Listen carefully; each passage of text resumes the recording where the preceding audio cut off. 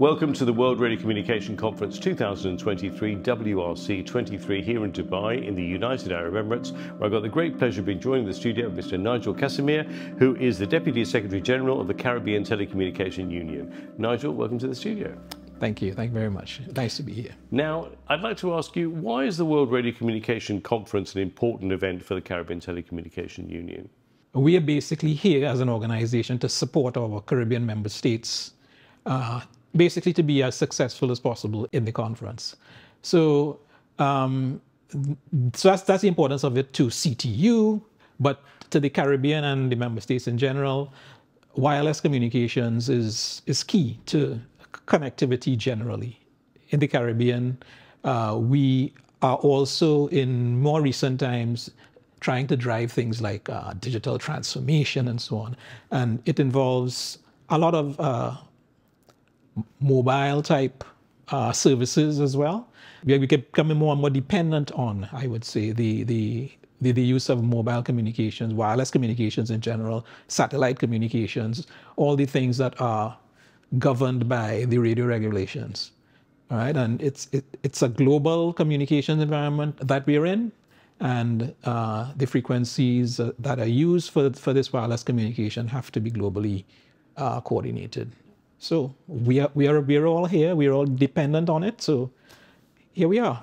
now, the Caribbean has got some quite severe weather at times, and I think mm-hmm. uh, certainly things like early warning systems and that kind of thing, it must be of great importance to you as well. Indeed, early warning and, and also response type um, services as well, right? So uh, we do a, a, lot of disaster management planning, for example, right? And uh, part of what the CTU would help um, our member states do is put in place the enabling environment and the the, the preparatory tools as far as uh, communications is concerned. So, very recently, we've been uh, pushing, and in fact, in our work plan for next year, we'll be we'll be trying to enhance the number of national emergency telecommunications plans that our member states have. Right now, it's, it's very few of them have that in place, like uh, basically it's like a handful out of our 20 member states.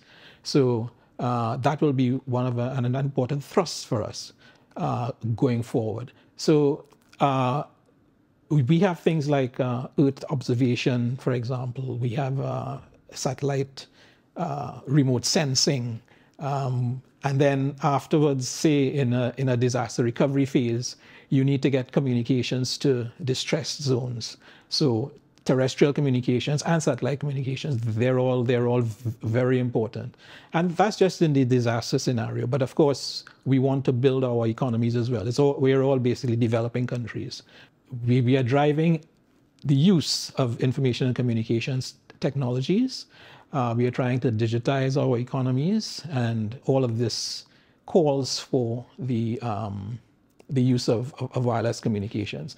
One last um, overall aspect I'd like to mention in terms of the Caribbean is that there is a, an aspiration approved by the heads of government to create a single ICT space. That is to create a zone within the Caribbean of harmonized uh, policies, legislation, and regulations associated with, with ICT. So uh, wireless is a great part of that looking at your members, you've got to say something in, the region of 20 members there. They're obviously spread out a, a large region there. What are some of the challenges and opportunities regarding radio communications? Well, technology moves, and we want to to move with it and uh, adopt as quickly as possible. But regulations and uh, the pace of regulation doesn't move as fast as as the technology does. So in addition to in addition to which adoption, driving adoption is also a challenge.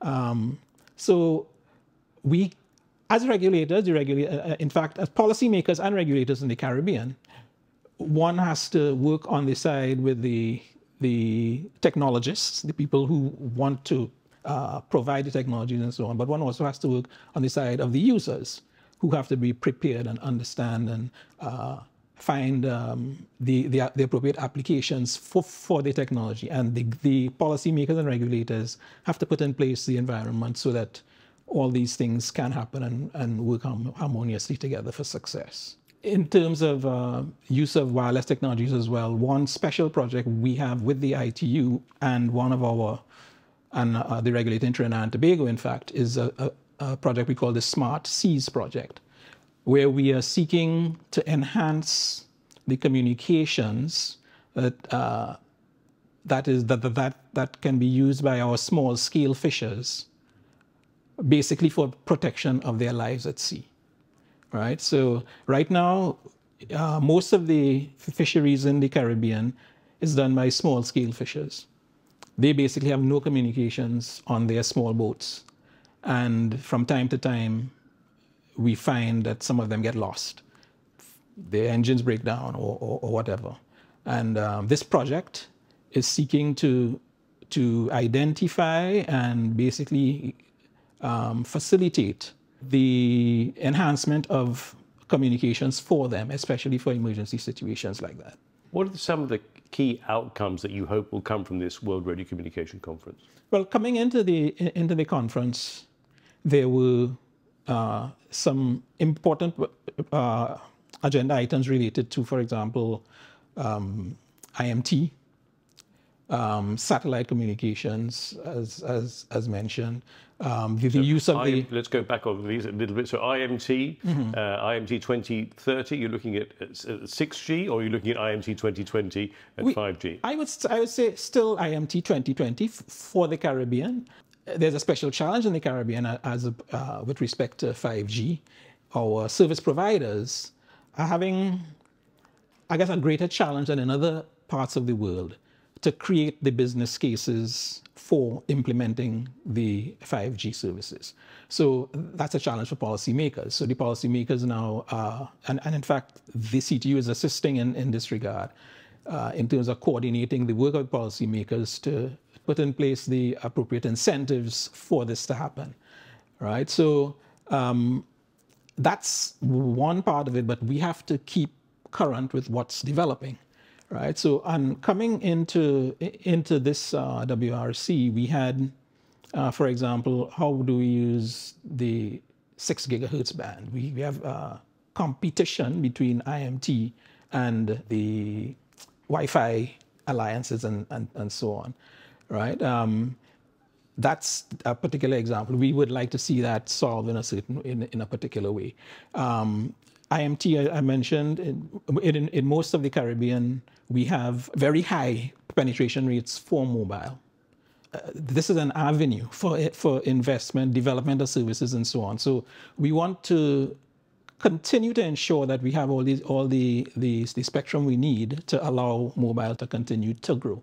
But apart from that, however, we are now being um, asked by new non-geostationary satellite uh, service companies to allow their services into the Caribbean. And it it would help. Most of the Caribbean states are small, so so, so they don't have large under, unserved areas. But there are exceptions to the rule in in the CTU. Guyana, Suriname, Belize, in particular, J- Jamaica is also um, large in uh, relatively speaking.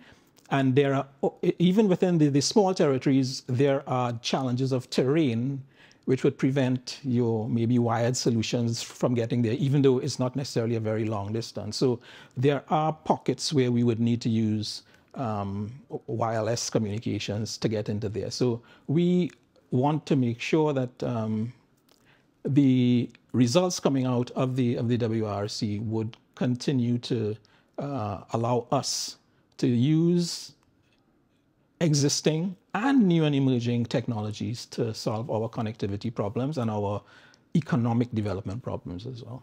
Well, thank you very much, Nigel, for sharing these wonderful insights with us. Mm -hmm. And uh, we wish you the very best for the future and hopefully you'll get the results that you want. Yes. Uh, and thank you for joining us in the studio today. Thank you very much. Thank you. And if you've enjoyed this interview, then uh, do check out our other interviews at our YouTube channel, as well as our podcasts on SoundCloud, Spotify, Apple Podcasts, or wherever you listen to your podcasts. And for further information, visit our website at www.itu.int. Thanks for tuning in.